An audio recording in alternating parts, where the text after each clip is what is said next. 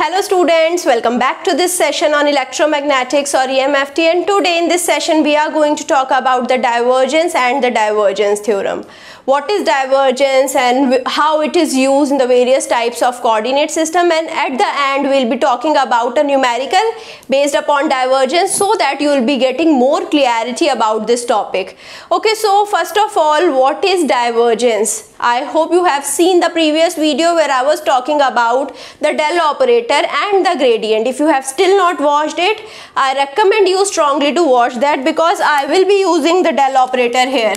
So what is divergence? Divergence is the second use of del operator if you recall the previous video and according to the second use del can be having a dot product with any field. So if is A is my field then I can have a dot product of A with del which is representing the divergence. Now for the dot product this A or this field has to be a vector quantity. When I was talking about gradient the gradient was operating on a scalar quantity.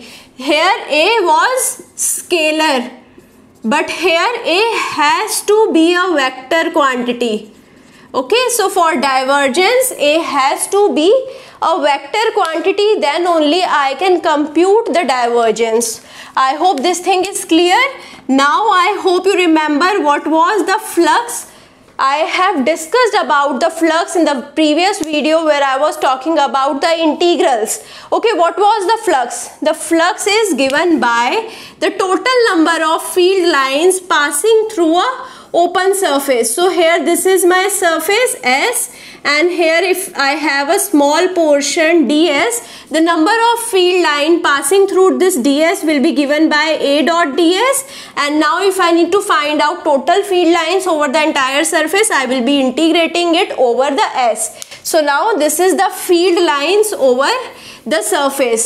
So now this field lines is called the flux now what is uh, my divergence? Why I was talking about flux again. Divergence is the net outward flux per unit volume around a given point. Okay.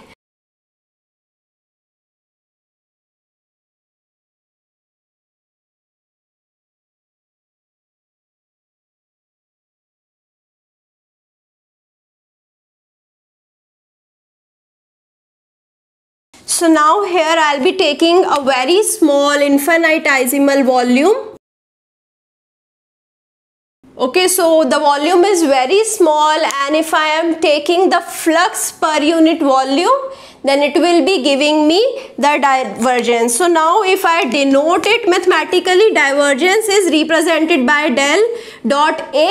So I know that. So now it will be equal to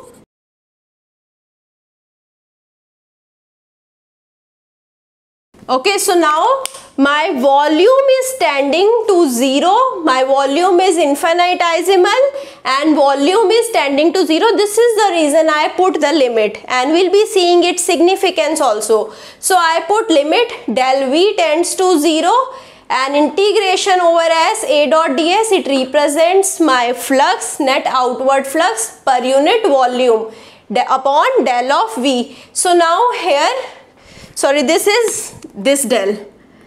I represented it wrong. So now this del of V will be like this. So it's the change in the volume and this is del operator. So I hope you are clear about it. You should not make the same mistake. Okay so now this is my del dot A. So what is the significance of it? It give it is giving me the net outward flux per unit volume. Okay so now if I have three points so let's suppose this is my point Q this is my point Q and this is also my point Q. Now here if I have field lines like this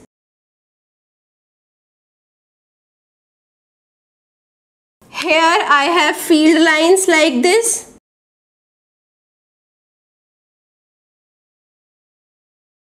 okay and now in the third case I have field lines like this okay so now divergence gives me the net outward flux per unit volume. So now if I take this case, this is the first case. Now here you can see the flux is out in outward direction. So now here del dot V will be positive. And now here you can see lines are coming inside. So here del dot V should be negative. And here we don't have any change in the flux. So here del dot V must be 0 at the point Q. So now here if I observe the point Q, at the point Q whatever the divergence will be coming it will be in the positive number.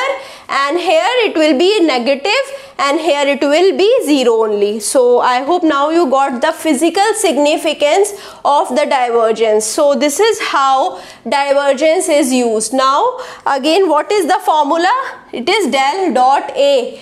Okay so now here if I have del, del we all know what is del. I am talking about the Cartesian coordinate system.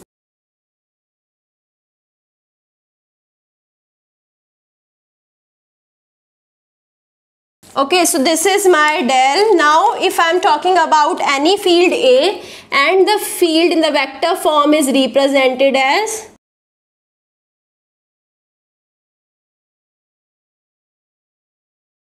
Okay, so now I know what is my del operator. Del operator is del upon del x, ax plus del upon del y, ay plus del upon del z, az dot here because we have del dot v. So here my v is like i have taken it to be a. So here my field is a. What is a? A is ax ax plus ay ay plus az az.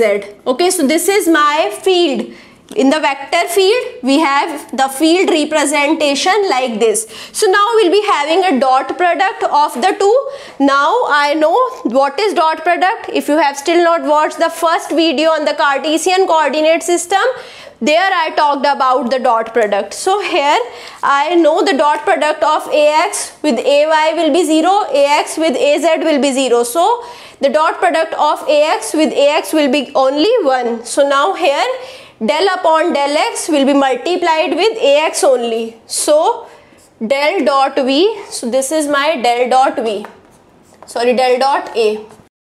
Del dot a will be del ax upon del x because I cannot multiply ax with ay and az.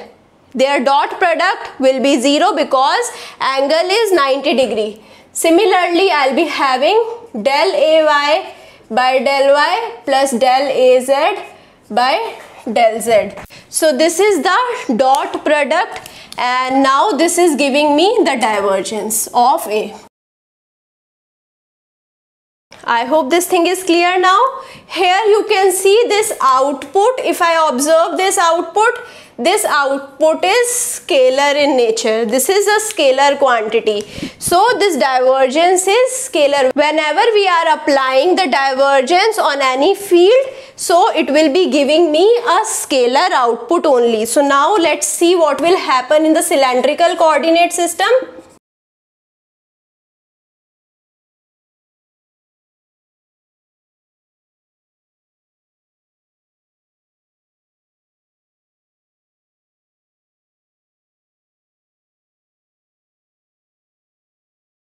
okay so now in the cylindrical coordinate system only the z coordinate will be same. So here we'll be having del az by del z.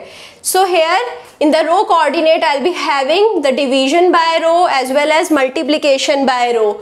But in the phi coordinate we'll just have the division by rho only. So you have to remember this formula now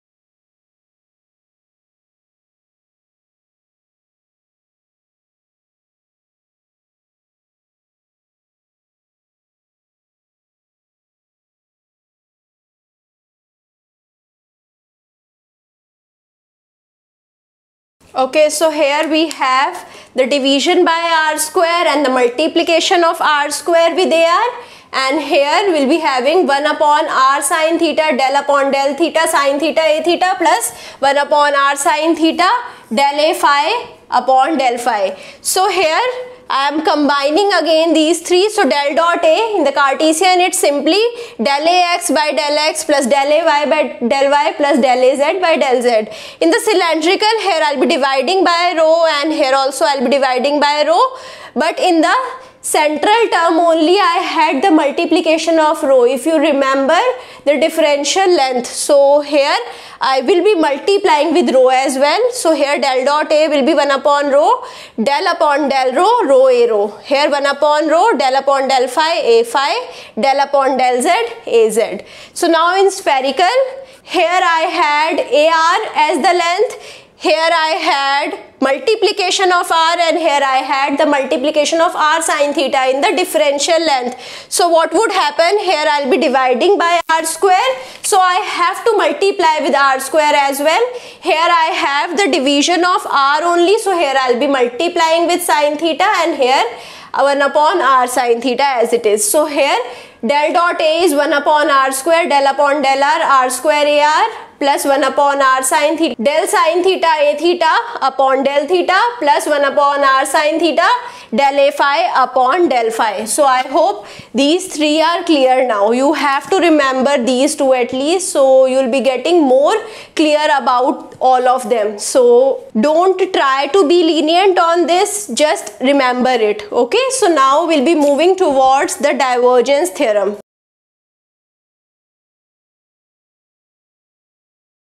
Okay, so now if I see this formula and if I am taking this del V this side and if I am taking observing it for full V. So now what will happen integration over V del dot A will be equal to integration over A A dot ds. So what has happened here?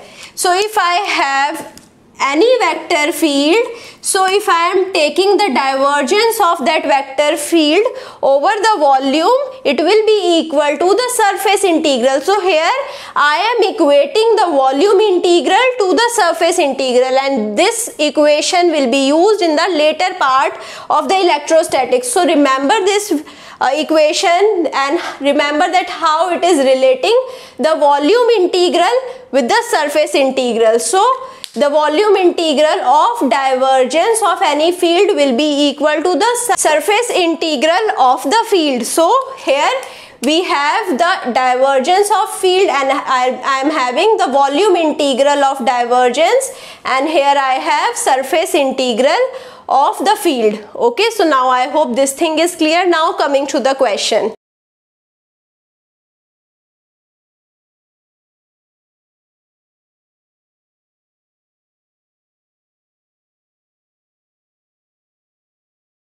Okay, so now here we have the vector A as x square y z ax cap plus xy square z ay cap plus xyz square az cap. Now I need to find out del dot A at point minus 1, 2 and 3. So del dot A, I know this is the Cartesian coordinate system. So here I will be using del dot A is equal to del Ax what is ax this part is my ax so i'll be directly putting the value of ax which is x square yz upon del x plus del ay so here ay is xy square z upon del y plus del az so del xy z square upon del z. So now I know the partial differentiation. So the partial differentiation of del x square yz so here i'll be treating y and z as the constant and the differentiation of x square is twice of x. So here i'll be having 2xyz here i'll be taking x and z as constant. So here x and z is multiplied by 2 of y so similarly here x and y are constant. These are multiplied with differentiation of z square which is twice of z. So now we have 2xyz plus 2xyz plus 2xyz which is 6 xyz so now i'll be putting the value of xyz at the given point so here i'll be having 6 into minus 1 into 2 into 3 so which is equal to minus 36 so here what type of flux we are having? Inward or outward? So here we'll be having inward type of flux because the output is negative